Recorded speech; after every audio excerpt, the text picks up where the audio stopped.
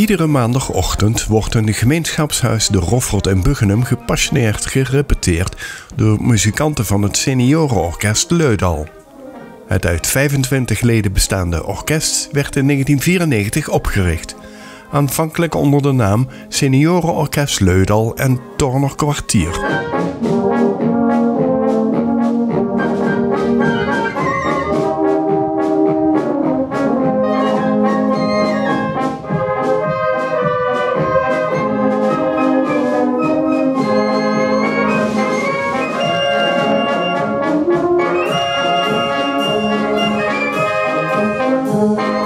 Seniorenorkest staat sinds twee jaar onder leiding van de 27-jarige dirigent Jenny Leerschool uit Heel.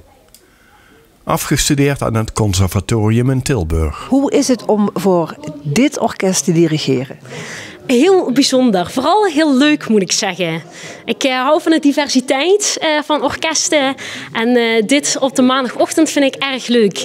eigenlijk is iedereen altijd heel erg enthousiast. En dat maakt het dirigeren nog leuker. En ik ben zelf ook heel erg fan van deze muziek. Dat is misschien heel gek om als jonge meid te zeggen. Maar ik ben hierin opgegroeid. Dus dit soort muziek maken vind ik erg leuk. En mensen die dat graag willen, dan ja, daar wordt het alleen maar leuker van. En de keuze voor de muziekstukken, gaat dat in samenspraak?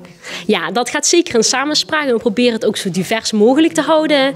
Uh, dus iedereen heeft uh, een zegje. Dus iedereen kan gewoon uh, naar de muziekcommissie mailen om, om, om inspraak in te doen. En we proberen het ook zo divers mogelijk te houden. Een paar nieuwe nummers. Ballet Show hebben we bijvoorbeeld ook in het programma staan. Dat is ook vrij nieuw. Maar ja, polka's, ook dansmuziek. Dat, dat proberen we eigenlijk allemaal te doen, ja. Het seniorenorkest Leudal bestaat momenteel uit 25 muzikanten, variërend in de leeftijd van 60 tot bijna 90 jaar.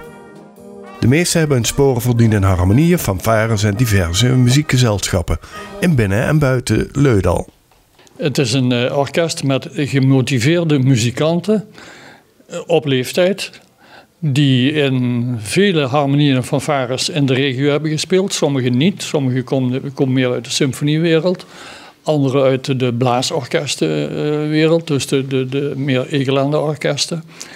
En het zijn mensen die uh, heel graag muziek maken, want anders kom je niet op een maandagmorgen naar de repetitie. Ja, dus het zijn echt gemotiveerde mensen. De muziek die we spelen, die is uh, zowel voor de mensen die het spelen als voor de toehoorder heel erg interessant. Uh, het is andere muziek als de harmonieën en fanfares spelen. Of gewoon in die wereld ook veranderingen zijn. Maar wij spelen muziek die men heel graag hoort, die we zelf graag spelen. En dat kan zijn van, van Egerlander muziek tot een walsje, maar ook een beetje de moderne, de vlotte muziek. U heeft straks een, nummer opgenomen waarin bijvoorbeeld onze drie uh, vogeltjes hier vooraan echt uh, excelleerden. was schitterend. Ja, heel mooi. Hoe gaat het met het uh, met de ledenaantal en de ledengroei?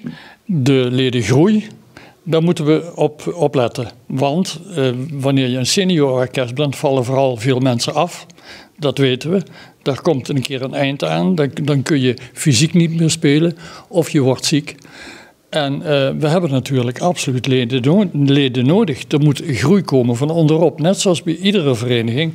Maar bij ons is dat absoluut een gebod. Ja, en uh, ik roep bij deze op alle mensen die graag muziek maken in uh, heel Midden-Limburg: join the club. kom erbij. En het is absoluut heel erg fijn om mee te doen. Ja.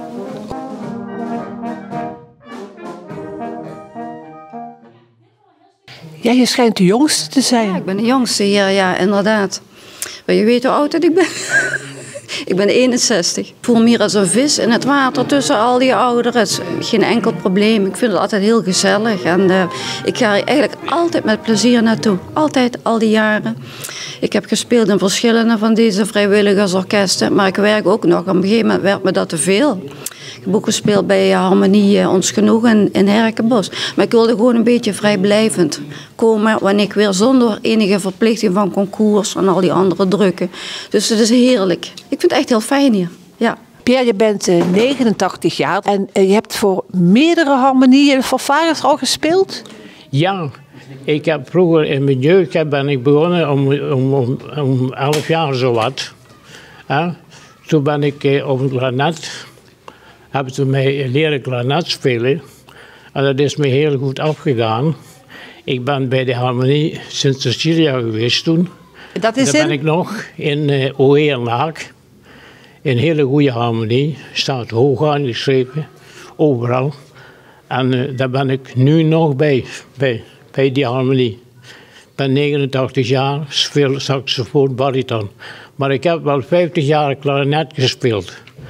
En toen uh, konden ze de eerste keer met een, met een baritonsax aan.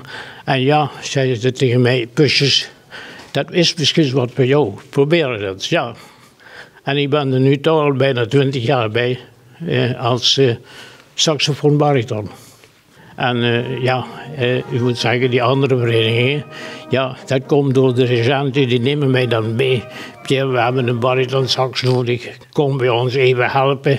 En op een gegeven moment ben ik bij drie, vier, vier andere verenigingen nog, waar ik op die manier bij ben gekomen. Door de regenten die me vragen, Pierre, kom, je kunt goed op die bariton weg. En uh, ja, we hebben die graag ook bij ons.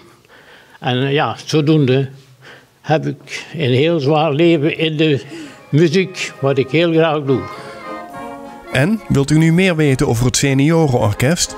Kijk dan naar www.seniorenorkestleudal.nl